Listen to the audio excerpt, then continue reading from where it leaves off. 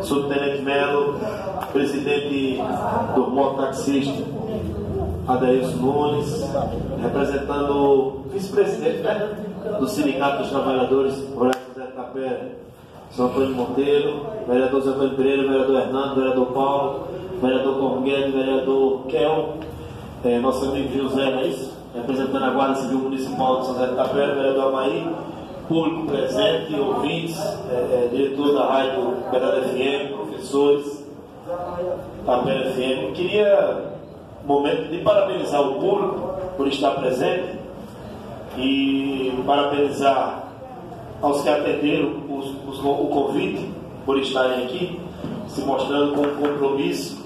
Quando se debate sobre uma, uma audiência, já, já vi várias e várias audiências e muitas vezes não saem do papel porque falta vir até os interessados vir discutir, né? e aqui estão os interessados, e aqui está é, os órgãos competentes. Desde o dia que teve o manifesto, eu passava por lá e dava minha, minha fala de contribuição com apoio à população. Dizia um dia antes da sessão, mandava mensagem para o governador e dizia, até, até me permitam se usei uma fala errada quando, quando respondia, não sei se ele próprio ou alguém respondia, mas dizia o que a polícia está fazendo. Eu dizia, não, olha, não vamos colocar aqui nem o pessoal da CISP, nem o pessoal da Catinga, nem o pessoal do Pelotas. Eu acredito que estava assim, de forma envergonhada com as atitudes, porque o que levou esse parlamento ao vereador convocar uma audiência pública? Porque só foi dentro de nossa cidade. Só foi dentro do nosso território. Se você entrasse em Andes, conseguisse entrar em Andes, ou sair aqui para ir para Pão de Açúcar, ou para ir para Olho d'Água por dentro, ou para Santana, ou qualquer cidade, não foi questão de ficar é, dentro de São José da Pé. Nós estamos fazendo uma sessão aqui, umas mais de 10 horas da noite, a mensagem chegando. Então agora ali com uma viatura, eu sei que a polícia pode ser em qualquer em qualquer local, qualquer rua, qualquer ponto, ninguém está aqui para querer atropelar leis maiores. Mas era a forma, um exemplo, quando você vai colocar umas placas na cidade, está aqui a guarda. Se vai colocar, se vai montar um carro que está no local que não tem uma placa, primeiro tem que ter uma política educativa. Nós temos aqui uma associação do moto taxista, que eles precisam saber. Eu sei que, que a lei do trânsito é uma lei maior e todos têm que ter o conhecimento. Mas alguma coisa que vim para a nossa cidade, do jeito que quando vem para essa casa aqui, eu dizia, eu estou vendo a menina ali do, da, da autoescola. Na menina da autoescola ali, no meio da vista. É da autoescola, autoescola São José. E vemos aqui em Itapera, depois de 60 anos, é, filhos do interior, que eu acho que foram buscar patelações sem largar primeiro do que muitos da cidade. Você pega, tivemos aqui bancas é, é, examinadoras por mais de três vezes, não foi? Quatro vezes aqui em São José da Penha. Isso sim é você trazer alguma coisa para se vestir de nossa cidade. Porque quem vende o pão, quem vende o bolo, o restaurante, a, a, a, as pousadas, tudo isso. Agora, olha, se nós temos aqui, aqui no, em Alagoas muitas motos irregulares, muitos veículos irregulares, eu acho que o centro maior tem que ser Arapiraca. Eles têm que concentrar em Arapiraca. Nós batemos nessa tecla aqui, nessa tribuna aqui, estou aqui pelos dois, três mandatos, tem vereadores de dois, Márcio está com três também aqui. A gente brigava direto com a questão, confronto mesmo com a polícia, não brigado com a polícia, porque assim, em debater sobre a briga que tinha todos os sábados na estrada de Pilões. Todos os sábados tinha briga na estrada de Pilões. Não era outra coisa. O que espanta a gente mais ainda é que muitas motos comprovadas, estamos falando ao vivo aqui, está no YouTube, está é, tá no Face, está no portal da Câmara, está ao vivo, o pessoal pedindo ali quando a gente está ao vivo. Então é o seguinte, muitas motos já voltaram de Arapiraca, sem regularização nenhuma. Só foi pagar a despesa do guincho e os dias que ficou no pátio. Olha, se é para fazer um pátio, se nós estamos com o centro daquele ali, que dá acesso a Pão de Açúcar, a Arapiraca, a Maceió, a Santana, a todo lugar, aquele trevo. Coloca umas grades, eu acho que não é grande não.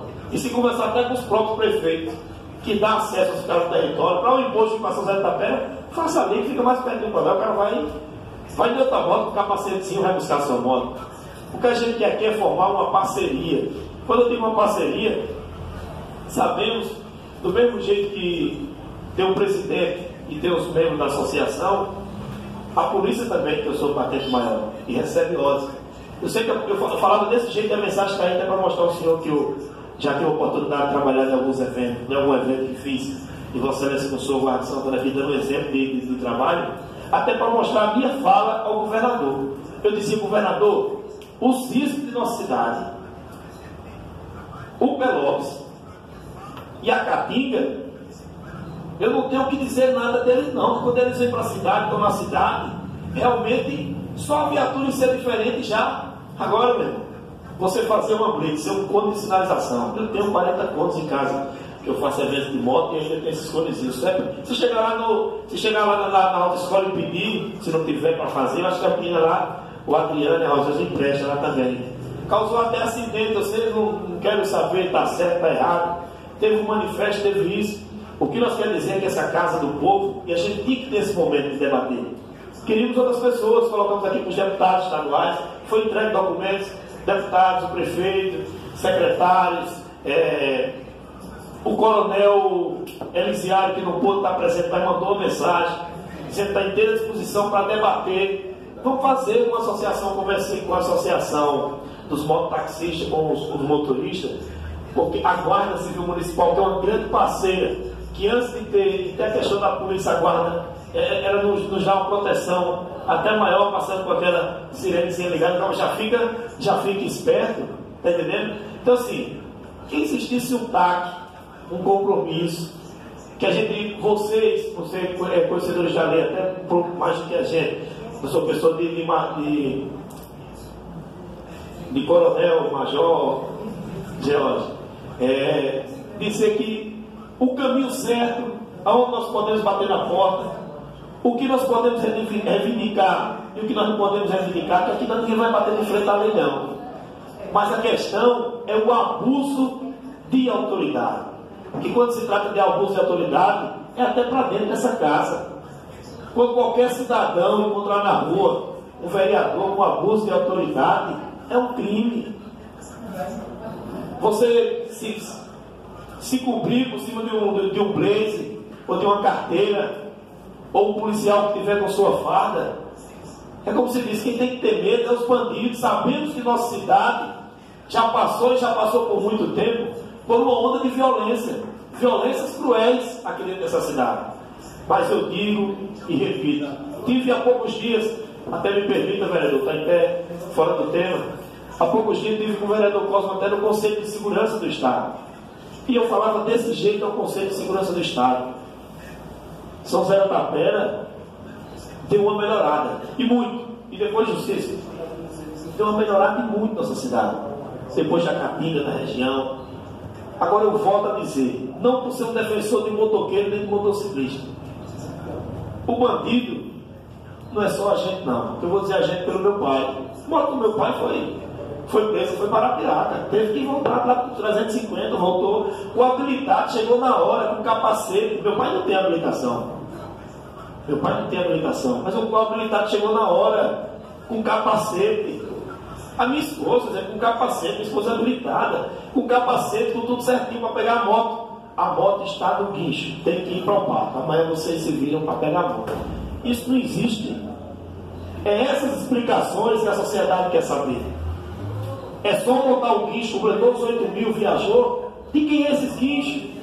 Vamos ter que descobrir. Será se tem patentes por desse guincho, como tem do mesmo jeito o pessoal dos machantes, que já vimos aqui várias e várias vezes os machantes brigando?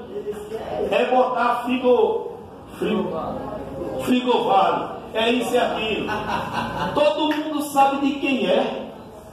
Todo mundo sabe de quem é. Ninguém vai brigar, não. Vai ter que levar o é, é matador daqui, você vai para Garanhuns, é boi cortando no meio da rua, esse aqui agora é Patapeira não. Patapeira do nosso sertão aqui tem tem que levar para lá porque tem que encher os cofres dele. E ainda que e, o primeiro que recebe o nome de somos nós. É o burrinho, que é o burrinho de carne. Eu acho que aquele pátio do lado da rodoviária de Arapiraca, quando rendeu para Arapiraca, as três semanas que levaram o moto para lá. Quanto rendeu para Tapera? Tirou do seu bolso, dos seus amigos, das famílias de vocês, para se deslocar até lá. Pela multa não. Muitos aqui já falou no entendimento, muitos aqui já falou de é, em desconto e isso e aquilo. A gente está aqui para o um entendimento, não vou atropelar meu tempo também, meu muito obrigado. E é assim que se faz a política. É todos vocês, é todos vocês junto nós. E mais uma vez, a menina da autoescola está aqui. Esse ano nós não tivemos um exame ainda aqui, não é isso? Está na hora de voltar para São José da Tapera, governador. Então, volta para cá. Se mudou, algum coronel, alguma coisa responsável por aí, volta para São José da Tapera. São José da Tapera deu resultado mais do que Santana, mais do que Delmiro, mais do que Arapiraca. Essas vocês vão ter que nos engolir. Que Tapera faz diferente. Muito obrigado.